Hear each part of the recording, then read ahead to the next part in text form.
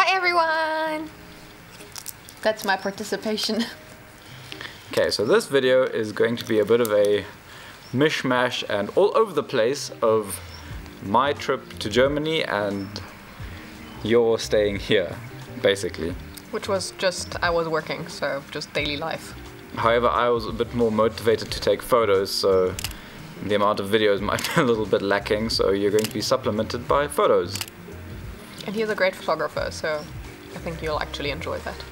Okay, so I went to visit my parents in Germany, and while I was there, it was my birthday. So for the first week, basically, I just spent time with family, filmed very little, did very little. We celebrated my birthday and we hung out with the family and so on.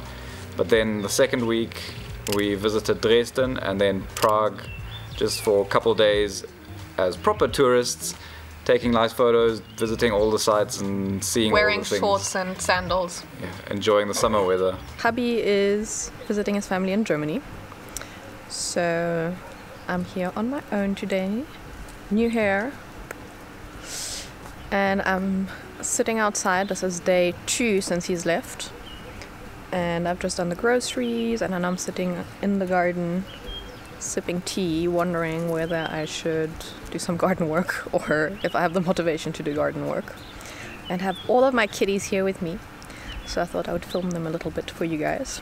And we will do a weird little vlog um, transitioning between stuff I'm doing while I'm here and left on my lonesome and stuff that he's doing with his family all the way in Germany. We have our little kip kip. Is it just me or is stuff looking very red? Definitely red, right? Up there is Lulu. And who else we got? We have Maya. And I could have sworn Momo was somewhere over here. Haha. Momo. Sitting under his mama, where he belongs. Right there with her. As you can see, this is the end of winter in South Africa, so we still haven't had any rain, so everything is still very dry and very yellow at the moment. However, it's also super windy, and that is completely normal. They're the August winds, and it's basically the first sign that spring is coming. It was quite interesting to see how the cats react to one half of their family or of their humans not being there. Uh, Momo, for example, turned super clingy. Since Tobi has left, Momo has been even more clingy than before. I literally can't go anywhere without him. And I sat down on the bed for five minutes and he is immediately just laying on me. And I also don't think I've peed alone in a week and a half. But that's fine. We love him anyways. Every time, every single time I went to the bathroom, he would come with me. My favorite bathroom buddy. God forbid the claw get, door gets closed. Hey, what's up? Do you not want to be alone, my boy? Okay. And if I dared to lock him out, he would have like a hissy fit about it outside the door. Um, but really, like every time, like he could be fast asleep in the bed while I worked, and I would just like whisk off quickly to go to the bathroom, and next thing he'd be there and be like, oh, half asleep, like trotting after me, going like, don't leave me. Um, so that was really, really sweet and really cute, and I felt really bad the few times I had to go out and had to leave him on, well, not really on his own. He has his siblings, his cat siblings.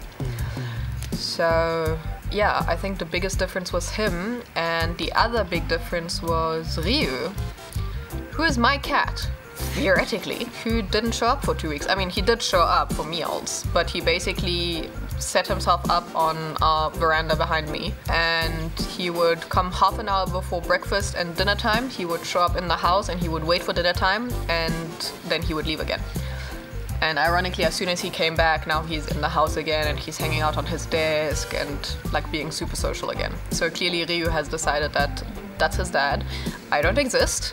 I'm just a food delivery system, and that's all my purpose is. We then headed off to Dresden.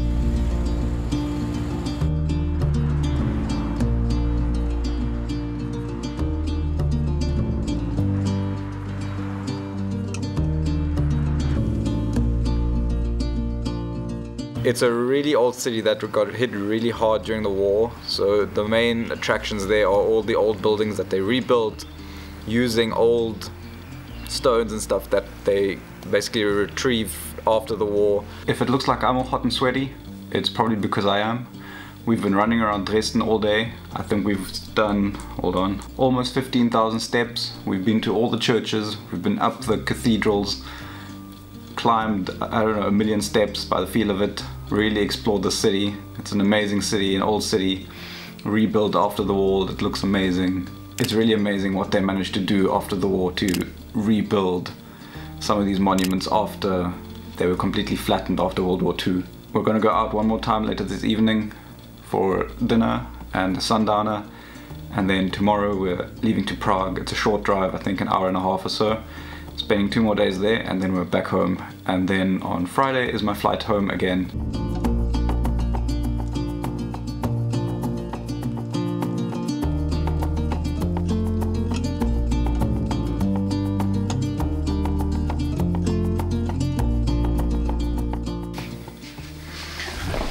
Oh, and don't forget to like the video and go ring my little bell down there, please. It really helps us out. Oh, and maybe subscribe if you haven't yet. One of the major attractions is the Church of the Lady, or the Frauenkirche in German, which was completely destroyed after the war. And it's really amazing to see how they rebuilt the entire thing. And it's just a generally really beautiful city. Like the nightlife, it's amazing, especially in summer when it's nice and warm and you can walk around the city. It's just phenomenal. It's also a very different vibe. I mean, I grew up in Europe. And from what he then sent me, the photos he sent me, and, and so on, I just I think that's one of the main things I miss about about Europe is in in German it's called a Fußgängerzone. It's basically like little yeah, like pedestrian areas, um, generally in the center of town, especially in the old towns.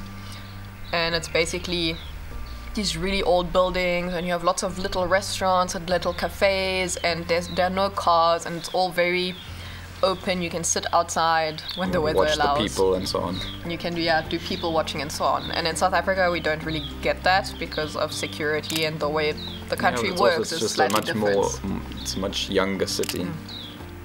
So we don't really have that. And just seeing the photos he sent me when he was at, at dinner and so on in the restaurants, and I was like, oh, that is a part of Europe I really, really miss. Mm. The one thing that happened while he was gone is I noticed thought I noticed that Maya had lost some weight.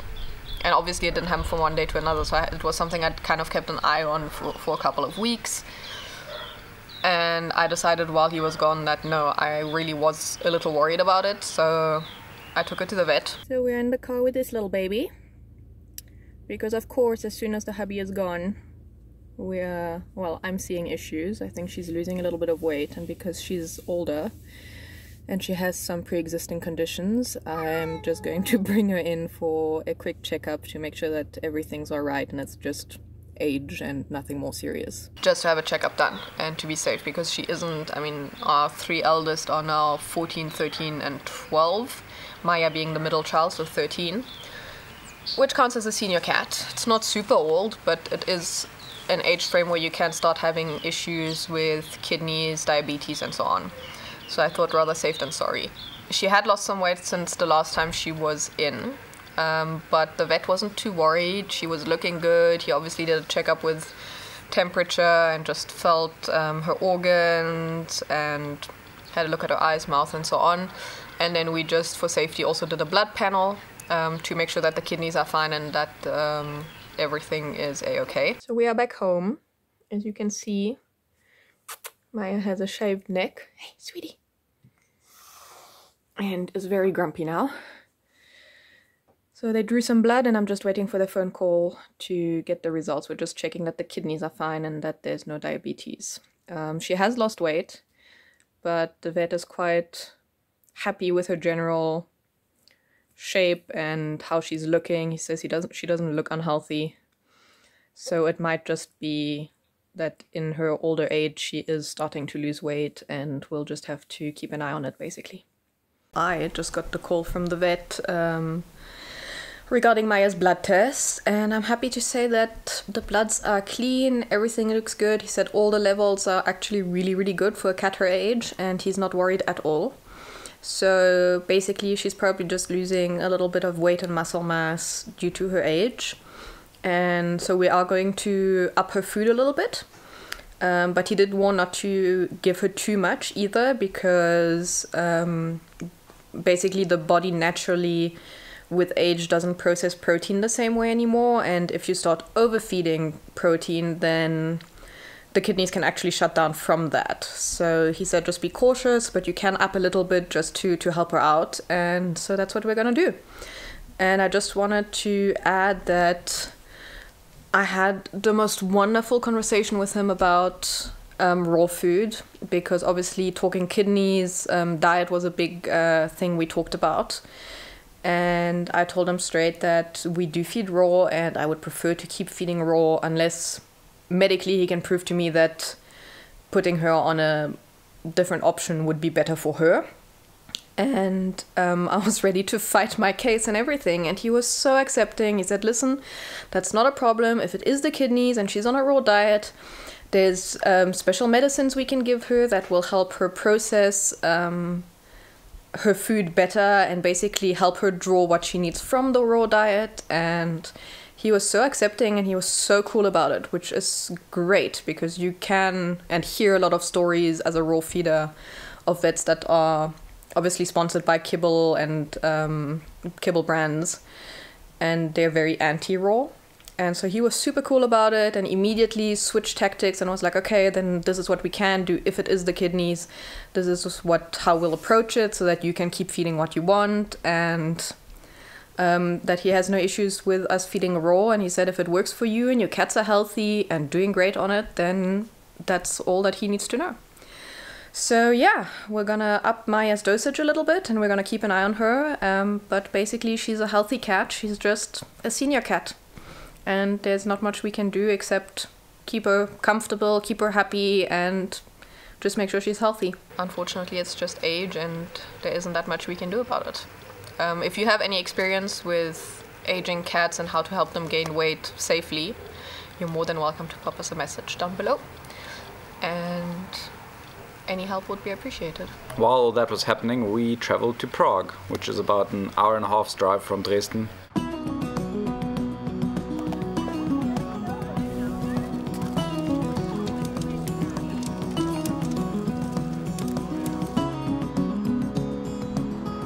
So I was first a little bit skeptical about Prague because it's in a different country completely and we don't speak the language and so on. But because it's so international and stuff, it's you really you speak English anyway, people will understand you. You speak German anyway, most of the time someone will understand you. So it's actually such an amazing, diverse city, and it's so beautiful because it's also so old and it's got all this history. It's just stunning. And we stayed in this old, old hotel in the middle of town. We walked everywhere. It was just such a phenomenal experience. The food was amazing. The the old landscapes and stuff are just amazing. It, I hi- highly recommend anyone if you have the opportunity go see Prague. It's it's really beautiful.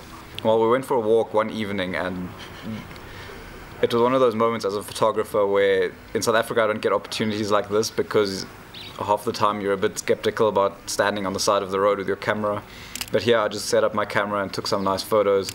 Not a worry in the world. My dad was sitting at a little restaurant having a drink, you know, also watching the scenery, and it was just so amazing. Being able to do that is, you know, for someone from South Africa is just amazing.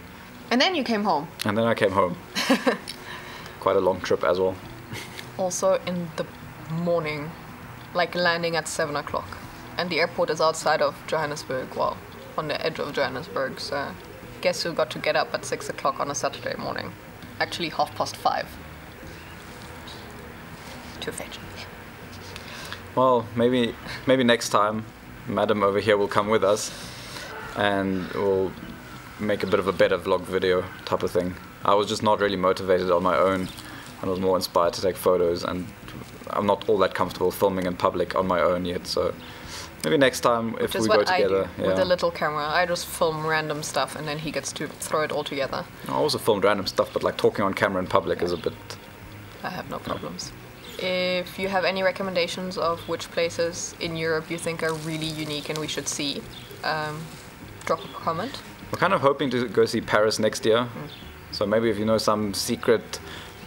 Look, I like seeing the, the, the not so typical touristy stuff. I hate super crowded places, so I'd rather go somewhere that's a little bit less crowded if it's unique and interesting. So if you have any like little restaurants or hidden gems in Paris, because that will probably be the next location we go to, then let us know, and then we'll put it on the list of places we want to go.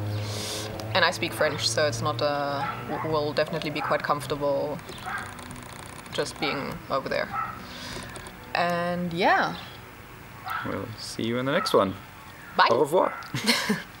Technically, you should say Auf Wiedersehen because you were in Germany. Au revoir will be for the next one. We're just talking about Paris.